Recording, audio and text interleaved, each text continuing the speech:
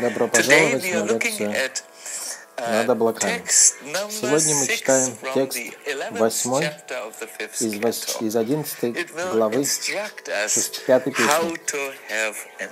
Мы научимся, как получить сияющий ум, который исполнен энтузиазмом. Вот вторая часть стиха. Если в лампаде не хватает масла, она будет коптеть. Но если лампа, лампада наполнена маслом и фитиль горит как следует, она дает яркий свет. Подобно этому, если ум погружен в материальные чувственные наслаждения, душа страдает. А если эти наслаждения его не привлекают, Тогда душа сияет своим изначальным светом, светом сознания Кришны. В комментарии Шила Прабхупада говорит о том, как практически это понять. Принцип ясного ума таков. Итак, ум может стать причиной как материального существования души, так и ее освобождения – атаков материи. Каждый, кто находится в материальном мире, страдает именно из-за своего ума. Чтобы избавиться от этих страданий, необходимо обуздать ум, очистить его от материальных привязанностей и полностью занять служением Господу. Это и есть духовная деятельность.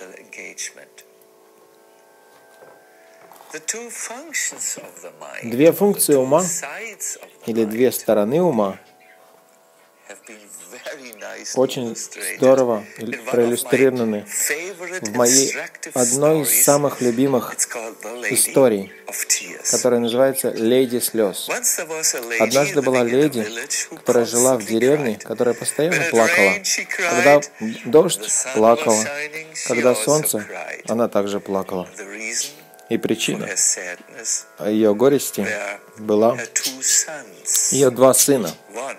Один, назовем его продавец зонтиков, продавал зонтики. И для его бизнеса. ему нужен был дождик, потому что только тогда людям хотелось покупать зонтики у него. Второй сын делал попадамки, такие круглые, плоские гороховые лепешки, которых нужно сушить на солнце. И для него он получал прибыль, когда сушил свои попадамки на солнце. Когда солнце светило, леди думала, о нет, никто не будет покупать зонтики у моего первого сына, она плакала. Когда дождь шел, леди думала, «О, нет, теперь никто не будет ходить к моему сыну, который делает попадамки, потому что у него не, нет больше попадамок. Ему нужно солнце, чтобы делать попадамки. Поэтому она была известна как леди слез, которая постоянно плакала. Однажды Саду проходил мимо деревни, и он узнал об этой бедной женщине от э, односельчан. И он предложил, «Моя дорогая леди, когда солнце светит, думай о твоем сыне Пападамке, который продает суша их на солнце. Когда идет солнце, будь счастлива, потому что теперь твой продавец зонтиков может получить выгоду.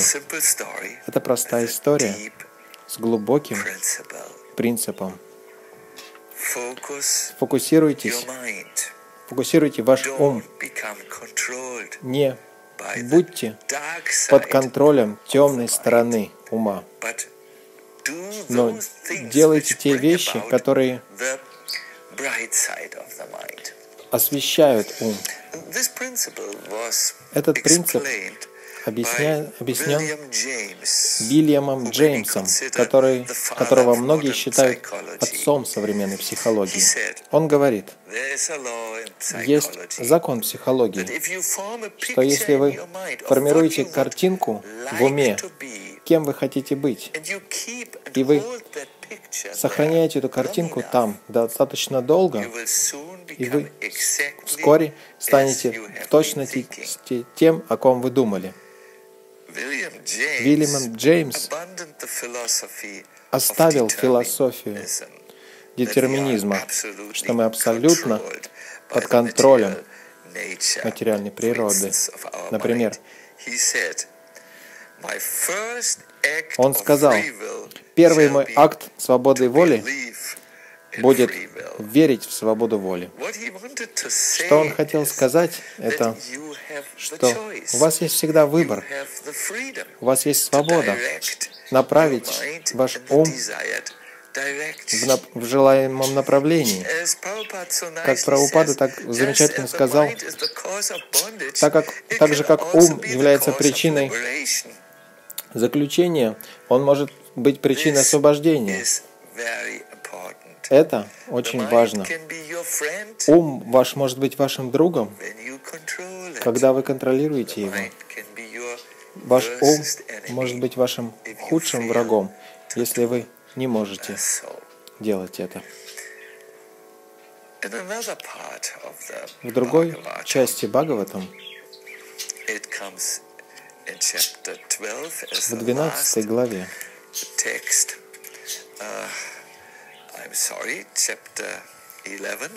нет, в 11 песне, в 17 стихе. есть прекрасный процесс из трех шагов, как сделать ваш ум другом.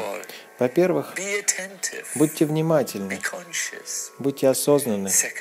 Во-вторых, когда вы видите, что ваш ум идет вниз по темной дороге, он видит только проблемы и беспокойства, пренебрегайте умом, игнорируйте его. прямо с самого начала. И третий, и, возможно, это самый важный принцип, занимайте ум в служении Гуру и Кришне. Вишванатха Чакраварти Такур спрашивает нас, как такой слабый «я» может победить ум, который такой сильный?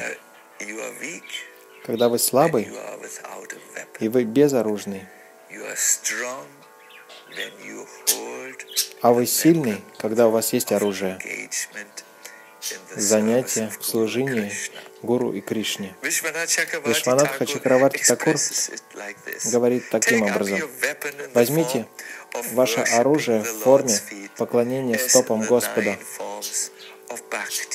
в восьми процессах бхакти. И также возьмите мантру, который, которую дал вам ваш гуру. Это очень эффективно. Если вы переведете ум на духовный уровень, когда ум контактирует с Кришной через девятиступенчатый процесс бхакти, например, шраваном, слушание о нем, воспевание киртана, памятование о Кришне и так далее и тому подобное, ум будет гореть очень ярко, как говорится здесь, в Бхагаватам, он будет гореть ярко, очень освещать все вокруг. Эти три вещи приводят к изначальному сиянию чистого сознания. Давайте же перенесем это на следующую неделю. Будьте внимательны к тому, что происходит. Будьте внимательны к трафику мыслей в вашем уме, чтобы не было столкновений и аварий на темной стороне дороги. И пренебрегайте, когда вы ваш ум делает неправильные вещи. И в конце концов, найдите хорошее занятие для ума. Для меня всегда работает, когда я помогает, когда я читаю священные писания, например, Бхагаватам. Через несколько минут, если я внимателен, мой, мой ум очень сильно возвышается. Я желаю вам всего хорошего. Пожалуйста, глубоко подумайте об этих вещах. И пусть ваша неделя будет удивительной. Увидимся в следующий понедельник.